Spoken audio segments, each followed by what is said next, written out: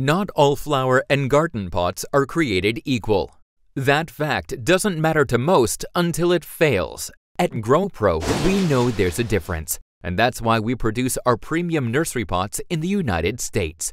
The combination of high-pressure injection molding and specially formulated plastics that result in more durable, resilient, longer-lasting garden pots mean your plants have an ideal long-term growing area that is sturdy and provides the protection your plants need to thrive. We manufacture Gro Pro brand premium nursery pots for Sunlight Supply. We use reprocessed material that's uh, both post-consumer and post-industrial. This is material that is being repurposed that would otherwise end up in a landfill, but we're making useful product out of it.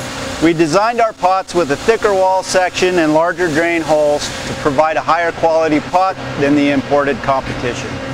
Our injection molded parts are manufactured on machinery and molds and with robots that are all produced in the United States. So we're not just providing jobs in our factory, but we're also providing jobs for people that are involved with other industries as well. The benefit to the customer is that after they've invested a lot of time growing a plant that you don't want to have a broken flower pot. You want to have something that's going to withstand use.